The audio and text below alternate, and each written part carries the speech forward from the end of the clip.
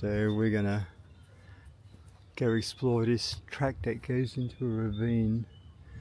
So yeah, looks a bit steep, but at least I can take the dog off leash now. Yeah, yeah, yeah, yeah. Come on, let's go. Don't cause trouble either.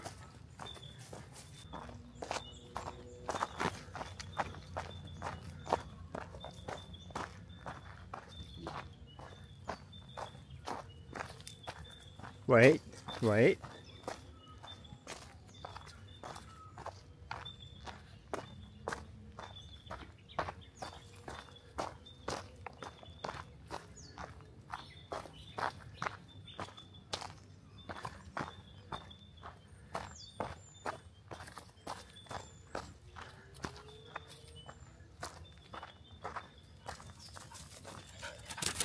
Ah, hey.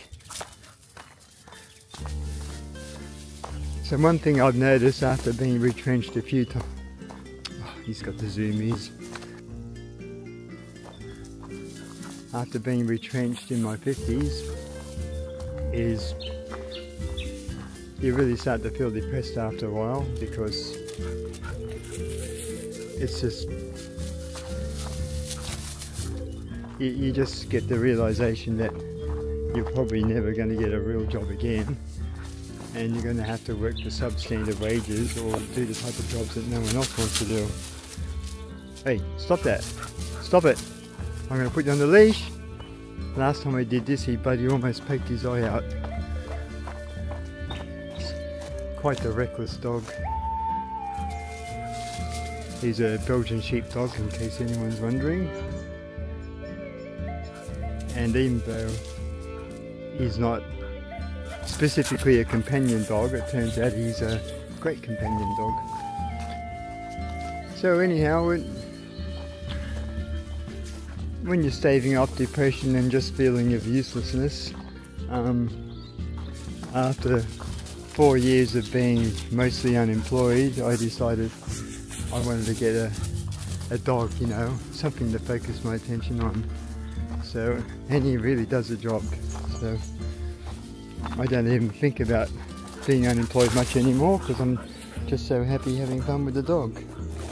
So, if you're looking for a... Come on, get going. Stop running.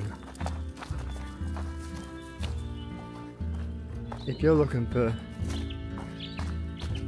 you know, a free, free therapy, then a dog is a good choice. Um, warning though that this dog is not the best dog if you're not an active person. He needs a lot of exercise. So maybe if you're not an active person, maybe something more along the lines of a doodle type of dog or a greyhound, uh, which surprisingly need are probably the laziest of all the dog breeds. So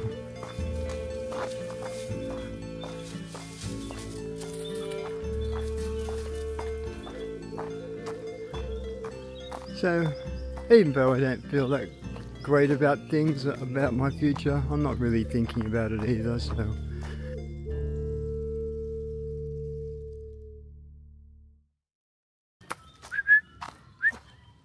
Come on. Come on. Hey. Come on. Come on.